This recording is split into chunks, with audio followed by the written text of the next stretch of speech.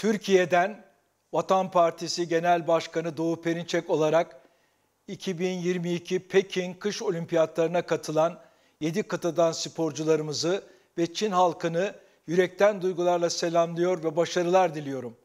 Pekin Kış Olimpiyatları evet, buzda ve karda yapılıyor. Ancak bilinçlerimize sorarsanız kış sıcağında yapılıyor. Dünya milletlerinin ve sporcularının yüreklerindeki sıcak kardeşlik duyguları karları ve buzları ısıtıyor. Bu olimpiyatlar Çin'in binlerce yıllık konukseverliğinde bütün insanlığı ağırlıyor. Bu olimpiyatlar insan odaklıdır. Dağ dağa kavuşmaz ama işte yedi iklimin insanlığı Pekin'de birbirine kavuşmuştur. Pekin'de şimdi insanlık yarışı başlıyor. İnsan sevgisi ve sporcu ahlakı yarışıyor.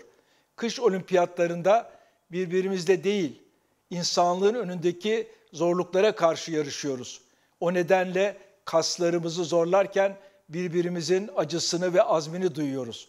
Acılarımız birdir ve insanlık içindir.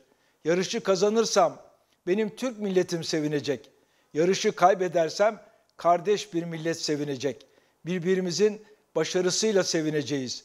Pekin'de başarılarımızı paylaşıyoruz, sevinçlerimizi paylaşıyoruz. Pekin'de birbirine kavuşan ortak duygularımızı ve ortak başarılarımızı selamlıyorum.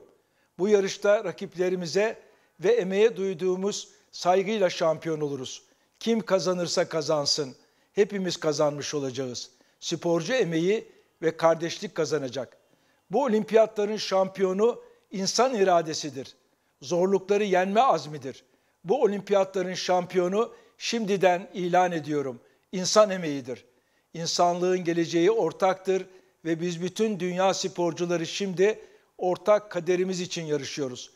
Pekin olimpiyatlarında dağların doruğuna dikilen bayrak insanlığın ortak geleceğinin bayrağıdır.